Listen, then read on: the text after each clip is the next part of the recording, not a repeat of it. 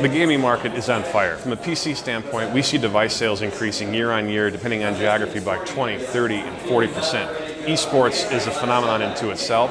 If you look at viewership of League of Legends World Championship, it actually exceeds that. More people watch that than the NFL Super Bowl. Think about college and think about full ride scholarships.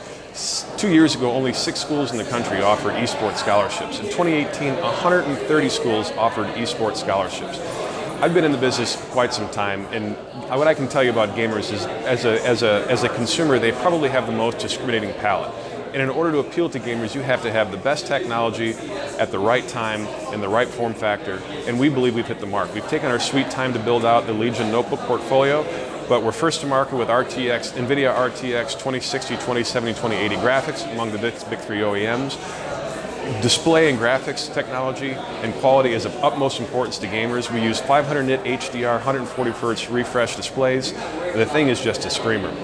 And the beautiful part of it is not every gamer wears a, a hoodie and a backpack. And if I had this to show you right now, you could see that it's a very, very sleek machine. Not every gamer wants to have the bling of a traditional gaming rig to walk around with it. It's equally as beautiful for the boardroom to game on, to take to the classroom, to take to the library. So I really believe that our new line of Legion notebooks will appeal not only to gamers, but prosumers, multimedia, and just to screening buyers around the planet. So we're really excited about taking that product to market this year. We've got some really good feedback from retailers. It's just a matter of time before Legion takes off.